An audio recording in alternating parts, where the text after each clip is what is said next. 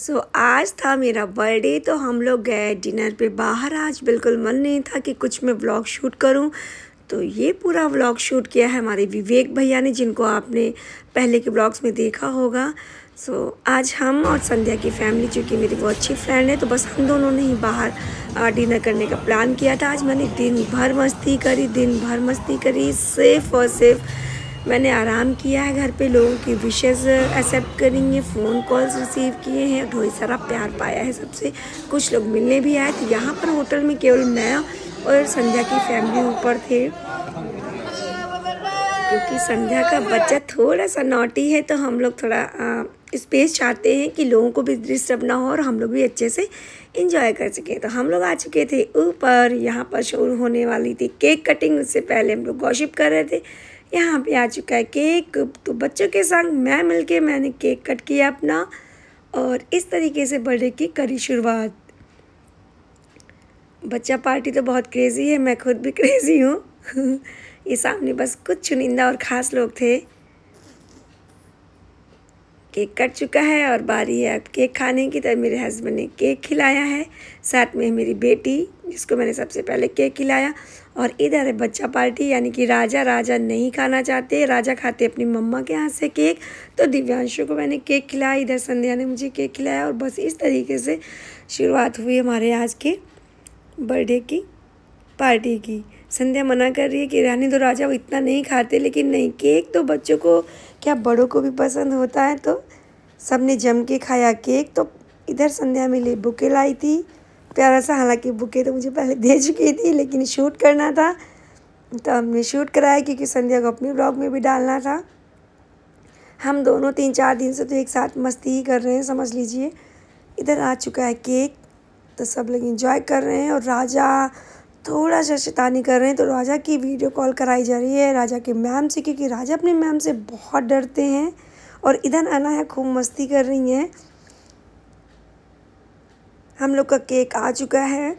हालाँकि राजा पहले ही केक खा चुके हैं। फिर से केक आया है तो केक राजा किसी को खाने नहीं देना चाहते, इसलिए राजा शोर मचा रहे हैं। अब आ चुकी है अपने अपने केक को खाने की बारी। कुछ हँसी मज़ाक भी चल रहा है यहाँ पर। ये फादर एंड डॉटर एक दूसरे को केक खिलाते हुए, खाते हुए। केक सच में बहुत टेस्टी था। इधर मेरी बारी आई, हस्बैंड ने फिर से मुझे केक खिलाया।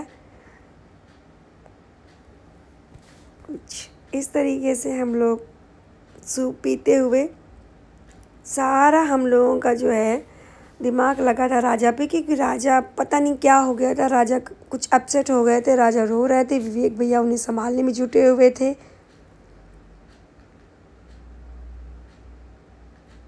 फिर से राजा को पसंद आया। इतना ज़्यादा केक कि उनके लिए फिर से पेस्ट्री ऑर्डर की और राजा बहुत खुश हुए कि मुझे दोबारा केक खाने को मिला।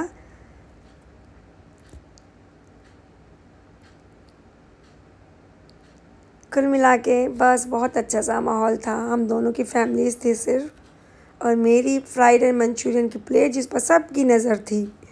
क्योंकि मैंने कहा कि मैं पनीर रोटी ये सब नहीं खाने वाली, मुझे नहीं पसंद आता ये सब बहुत ज़्यादा। मुझे स्नैक्स और इस तरीके की लाइट जो प्लेट होती है ना, वो मुझे पसंद आती है। मुझे लग रहा है आज मेरे हस्बैंड ही पूरा खाना मुझे खिलाएँगे क्या? फिर इनकी भी बारी आई, इन सब की भी प्लेट्स लगी। जो जिसका मन था वो ऑर्डर किया गया। मैंने तो अपना फ्राइड राइस और मंचूरियन ही फिनिश किया। भैया, यहाँ पे मुझे ढेर सारी ब्लेसिंग्स दे रहे थे, बहुत सारा जो है आशीर्वाद दे रहे थे और बस इस तरीके से कुछ हमारी धीरे धीरे पार्टी बढ़ रही थी। आज अनाया का ज़िम्मा पापा ने ले रखा था इनके तो पूरा खाना पापा ने आज खिलाया है बाबू को। और यही बाबू व्लॉग में भी बोल रही है कि आज मम्मा फ्री है और मैं खा रही हूँ पापा के हाथ से खाना। इधर गर्मा गर्म खाना सर्व हो रहा है सबके पसंद का। और इधर राजा भी भैया के हवाले थे। राजा मोस्टली भैया के हाथ से ही बाहर खाना खाते हैं। संध्या यहाँ पर फ्री थी। और भाई फिर से मेरी बारी। भाई स्पेशल डे था मेरे लिए। बर्थडे था।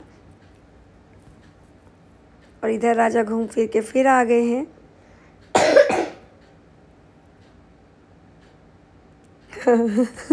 इधर आया गुलाब जामुन, जो कि बहुत गर्म था तो भैया पहले हिदायत दे चुके थे कि प्लीज़ अभी मत खाइएगा। बहुत हॉट है सुपर हॉट है।